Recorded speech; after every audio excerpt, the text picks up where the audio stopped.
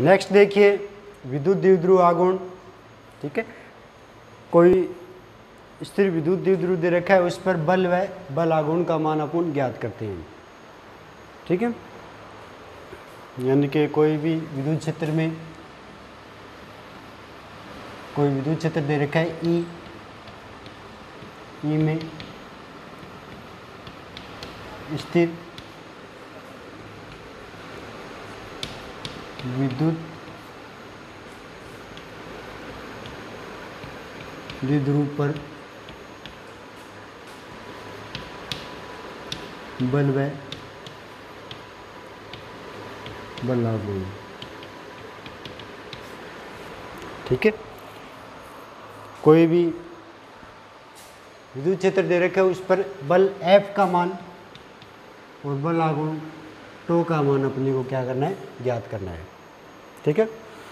अब देखिए, क्या दे स्टार्टिंग क्या पॉइंट दे रखा है? स्टार्टिंग पॉइंट दे रखा है विद्युत क्षेत्र ई यानी कि अपने पास क्या दे रखा है? कोई भी, ये वाला पॉइंट मान लिया। ये विद्युत क्षेत्र ई दे रखा है।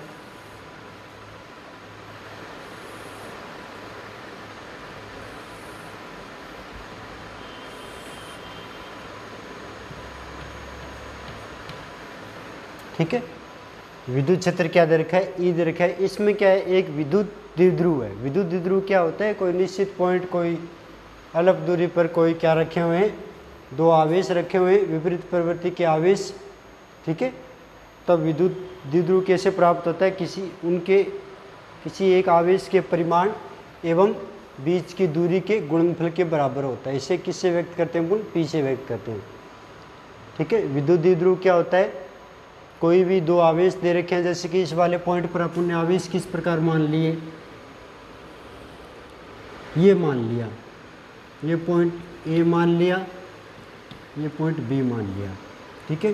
जिस पर प्लस क्यू आवेश माइनस क्यू आवेश उपस्थित है। ठीक है? इस पर क्या है? प्लस क्यू आवेश व माइनस क्यू आवेश क्या है? इसके ऊपर उपस्थित है। यानी कि पॉइंट ए पर क्या है? माइनस क्यू आवेश है और पॉइंट बी पर क्या है? प्लस क्यू आवेश उपस्थित है। और इनके बीच की दूरी कितनी मान ली अपन ने? ये वाला पॉइंट कितना मान लिया? स्मॉल डी मान ली। ठीक है? ए और बी कोई पॉइंट ए किस पर दे रखे हैं? जिनके बीच की दूरी डी दे रखी है, ए और बी पर। ए पर माइनस क्यू आवेश मान लिया और बी पर क्या मान लिया? प्लस क्यू आवेश मान लिया। यानी कि विपरीत प्रवृत्ति के आवेश अपन ने यहाँ पर उपस्थित मान लिए। ठीक है? ए और बी पर।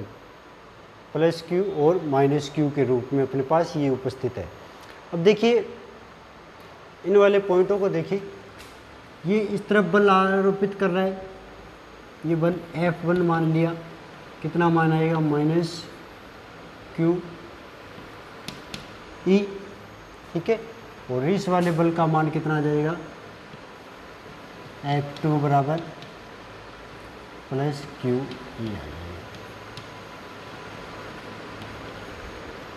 ठीक है? इस पर दो प्रकार के बल आ गए। ए पर कौन सा आ जाएगा?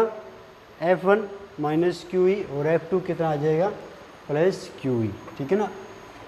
ए वाले पर कौन सा आवेश है? नेगेटिव आवेश दे रखा है और बी पर कौन सा आवेश दे रखा है? पॉजिटिव आवेश दे रखा है देन इनमें क्या मान आएँगे? एफ़ वन व एफ़ टू के मान अपने पास यहाँ पे प्राप्त हो जाते हैं।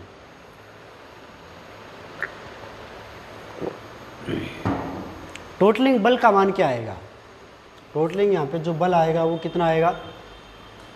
एफ़ वन कितना आया? माइनस क्यू ई और एफ़ टू कितना आया?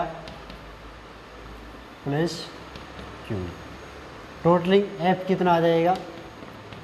F one plus F two और एफ़ का मान कितना है यहाँ पे? Minus Q E plus Q F बराबर कितना मान आया? माइनस क्यू ई और F one plus F two दोनों के मान रख दिए। एफ़ वन का मान कितना है? माइनस क्यू ई और एफ़ टू का मान कितना है? प्लस क्यू ई यानी कि एफ़ बराबर क्या रिज़ल्ट आएगा ज़ीरो आ गया। ठीक है? यानी कि बल आगुण पर विद्युत द्विध्रुव पर क्या होगा? बल का मान कितना होगा? शून्य होगा। इसका अर्थ क्या हुआ? इसमें रेखीय विस्थापन नहीं होगा। ठीक है ना? इस वाले पार्ट में जो डायग्राम दे रखे इस वाले पार्ट पर क्या है? रेखीय विस्थापन नहीं होगा। ठीक है ना?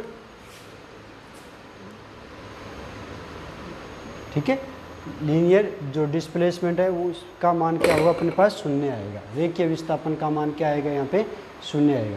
अब इसके बाद वाला पॉइंट देखिए कि लेकिन इसमें क्या होते हैं? एक F1 और एक F2 विपरीत प्रवृत्ति के बल उत्पन्न होते हैं। एक F1 प्राप्त होता है, दूसरा क्या होता है? F2 प्राप्त होता है। विपरीत प्रवृत्ति के आवेश क्या होंगे? इस पर प्राप्त हो जाएँगे।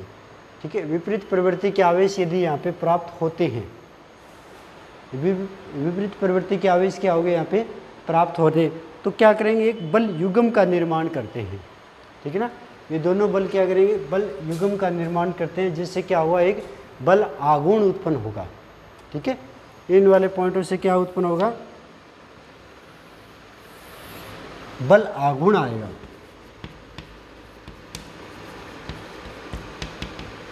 और बल आगुण का मान क्या होता है? बल इंटू बलों के बीच लंबवत दूरी। ठीक है? बल आगुण बराबर क्या आएगा? बल इंटू बलों के बीच की लंबवत दूरी। ठीक है? कितना आएगा? बल आगुण को अपन टो से व्यक्त करते हैं। ठीक है? बल आगुण को अपन किससे व्यक्त करेंगे? टो से व्यक्त करेंगे। बल कितना मान आएगा? बल का मान कितना आया था? क्यू इंटू बलों के बीच की लंबवत दूरी। ये पॉइंट ए था और डी दूरी पर था और बी ये वाला। अब ये मान लिया, ये क्या है? बलागुण थीटा एंगल पर है। विद्युत द्विध्रुव है जो, विद्युत क्षेत्र के साथ क्या है? थीटा एंगल पर उपस्थित है। ठीक है? थीटा एंगल पर ये उपस्थित है। देन ये वाली बीच की दूरी कितनी आ जाएगी? ये लंबवत दूरी होगी। ये लंबवत दूरी का मान कितना आ जाएगी? ये वाला आधार आ जाएगा। करंट ये वाली कितनी आएगी? डी साइन थीटा ठीक है? इनटू क्या आ जाएगा? डी साइन थीटा ठीक है? या फिर टो बराबर अपन क्या लिख सकते हैं? Q D E sine theta ठीक है? बल आगुण क्या होगा? जिससे कि दो विपरीत प्रवृत्ति के बल अपने पास यहाँ पे उत्पन्न हो जाते हैं। एफ़ वन व एफ़ टू ठीक है? क्योंकि विपरीत प्रवृत्ति के आवेश अपने पास उपस्थित है। देन इसमें क्या होते हैं? जो एक बल युगम का निर्माण होता है। विपरीत प्रवृत्ति के बलों के कारण एक बल युगम का निर्माण होगा। उस बल युगम के कारण क्या उत्पन्न होंगे? बल आघूर्ण का निर्माण होता है। और बल आघूर्ण का मान कितना होता है? बल इंटू बलों के बीच की लंबवत दूरी। टो इंटू टो बराबर कितना हो जाएगा? बल आघूर्ण को किससे व्यक्त करते हैं? टो से। कितना मान आया?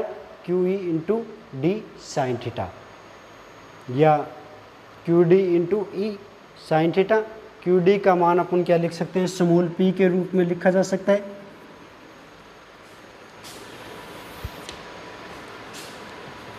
टो बराबर कितना आया? पी ई साइन थीटा जहाँ पी के विद्युत द्विध्रुव कितना मान आता है? आवेश इंटू बीच की दूरी। आवेश इंटू आवेशों के बीच की दूरी। जेड बराबर कितना होगा? P E sine theta P बराबर क्या इतना होता है? क्यू डी ठीक है?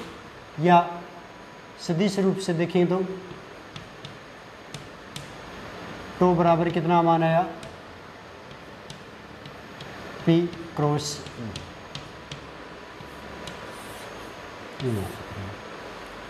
ये वाले समीकरण कोई समीकरण ले लिए मान लिया फ़र्स्ट है। कंडीशन क्या आएगी? First condition theta equal to zero ठीक है? फ़र्स्ट कंडीशन क्या लेते हैं? Theta equal to zero. क्या आएगा? Two P E sine zero. To बराबर कितना आया? ज़ीरो। यानी कि यदि विद्युत द्विध्रुव, विद्युत क्षेत्र के क्या हो? समांतर हो। यदि ये वाला पार्ट क्या हो? विद्युत द्विध्रुव ए बी इसके क्या हो? समांतर। हो ठीक है ना? तो बल युगम उत्पन्न नहीं होगा। ठीक है ना? यानी कि आगम उत्पन्न नहीं होगा। ठीक है? क्योंकि समांतर आगे यदि किसी एंगल पर उपस्थित है, तभी काम में लिए जाते हैं। ठीक है ना?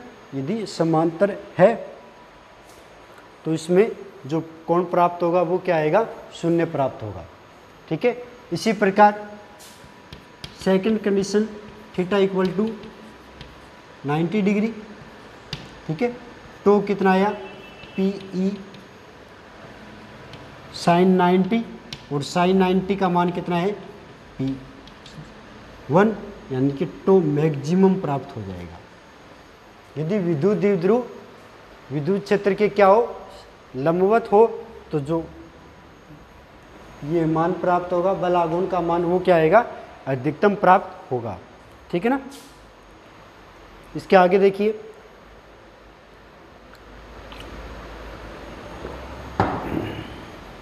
नेक्स्ट कंडीशन थर्ड वाली की condition theta equal to 180 then to बराबर कितना आएगा? माइनस पीई ये मिनिमम मान प्राप्त हो जाएगा। यदि विद्युत द्विध्रुव बल, विद्युत क्षेत्र के क्या हो?